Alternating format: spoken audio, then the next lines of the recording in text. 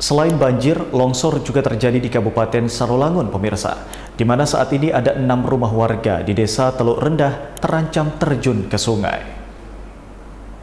Meluapnya Sungai Batang Asai ternyata tidak hanya menyebabkan beberapa wilayah di Kabupaten Sarolangun terendam banjir, namun juga menyebabkan tanah yang berada di pinggir sungai longsor dan mengakibatkan enam unit rumah warga di Desa Teluk Rendah, Kecamatan Cerminan Gedang terancam terjun ke Sungai Batang Asai.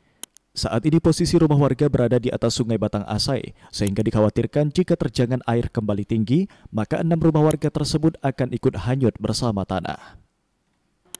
Sementara itu, untuk wilayah yang terendam banjir di wilayah hulu Kabupaten Sarolangun, saat ini masih terdapat di empat desa, yaitu Desa Pulau Pandan dan Desa Muara Limun, Kecamatan Limun, serta Desa Tendah dan Teluk Rendah, Kecamatan Cerminan Gedang. Saat dihubungi via telepon, Kabit Kedaruratan BPBD Sarolangun Yen Aswadi mengatakan kondisi air di empat desa tersebut sudah mulai surut dan jika tidak terjadi hujan lebat maka banjir di wilayah hulu Sarolangun akan segera kering.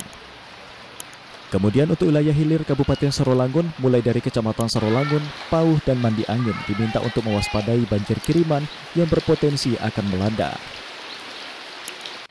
Surya Abadi Jambi TV